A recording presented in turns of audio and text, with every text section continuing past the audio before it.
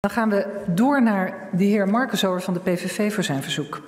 Tweede verzoek. Gaat uw gang. Zeker.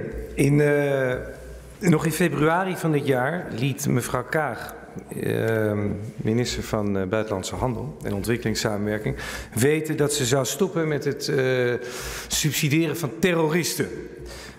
En nog geen drie maanden later, nu in mei, zegt ze dat ze toch weer graag die terroristen wil subsidiëren. Uh, en als de pers haar daar wat over vraagt, loopt als een haas weg. Dus eerst als een haas betaalt ze terroristen en dan loopt ze als een haas weg als de media haar daarover bevraagt. Ik denk toch dat het goed is dat deze Kamer weet waar het Nederlandse belastinggeld naartoe gaat en dat mevrouw Kaag zich daarover verantwoordt voor deze dank, Kamer. Ja, dank u wel. Mevrouw Tellige, VVD en dan de heer Paternotte, D66. Op dit moment uh, geen steun. We hebben schriftelijke vragen gesteld, daar willen we eerst antwoord op en dan uh, kijken we verder. Dank u wel. De heer Paternotte, D66. Of uh, de heer Marcus Zo het nou leuk vindt of niet, we noemen mevrouw Kaag hier de minister van Buitenlandse Zaken. Uh, niet bij de naam. Dat is één. En ten tweede, uh, los van de onzin die de heer Marcus Zo weer net heeft staan debatteren, geen steun. Geen steun. De heer Van Baarle, denk. Geen steun, voorzitter. Mevrouw Kuik, CDA. Uh, ja, voorzitter. 12 mei is er ook een brief gekomen vanuit de regering. Er loopt nog een onderzoek. Ja, een debat, maar na het onderzoek.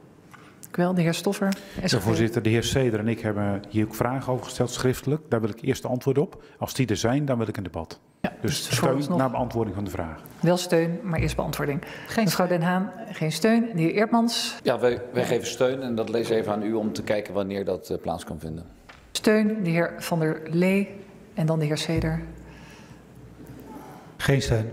Geen steun.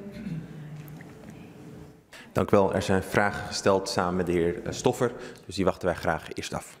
Wel, geen steun. De heer Wassenberg, Partij voor de Dieren. Geen steun, voorzitter.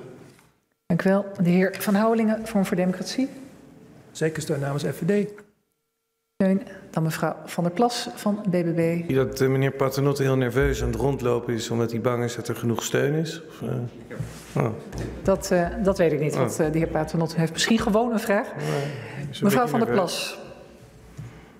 Uh, ik sluit me aan bij de woorden van de heer Stoffer. Op zich wel steun, maar uh, wel even de brief uh, afwachten met antwoorden. Dank u wel. Gaan we even berekenen en er is geen meerderheid. Nou, ik, ik, ik zie dus dat mevrouw Kuik van het CDA wel steun heeft gegeven, maar meneer Paternotte van D66 geeft wat instructies, coalitie-instructies. Maar ik hoorde duidelijk steun het moment is natuurlijk aan ja. de voorzitter, maar er was duidelijk steun ook van het CDA. Ik geef... Tenzij de heer Paternotte nu opdracht heeft uh, gegeven om die in te meneer trekken. Meneer Mark, we, we gaan het allemaal horen van mevrouw Kuik. Ja, volgens mij is er helemaal geen coalitie meer, uh, voor de helderheid. Um, mijn punt was, er loopt een onderzoek.